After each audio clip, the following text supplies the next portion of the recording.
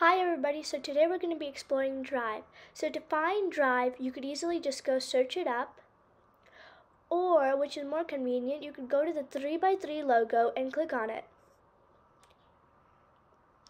It should say Google Apps underneath it if you, click on it. So once you're there, you scroll down and you click on the Drive icon, and it should bring you straight to the, your Drive homepage. On the search bar, you could search for any um, presentation that you have made so far or any individual presentation itself. The suggested bar are the ones that you might have recently been working on and it's suggested for you.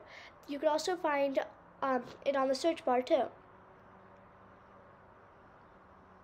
You, so you could click on the My Drive icon and it'll bring you back. You could also click on the Shared with Me and it'll bring you to the ones that are shared with you.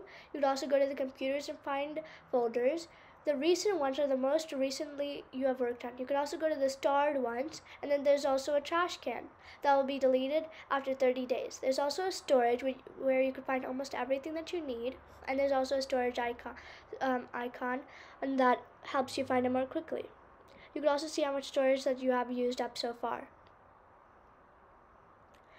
So, back to my drive. You could also, so here you could find, so this is the main like homepage of the drive. So this is, and so to make new presentations, you could upload a folder, a file upload, a folder upload, Google Docs, Google Sheets, Google Slides, Google Forms, and more, where there are more apps for you to upload. You could also connect more apps where you could download them and it'll be available to you too. There's also a template for almost every one of them. If you click on it, um, if you could also have a black doc, blank document. If you click on the templates area, then you could have um, templates for each one of them.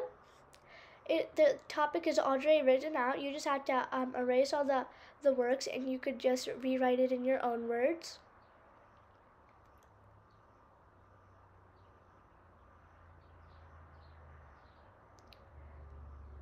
And that's also, and you can also search that up if you really want.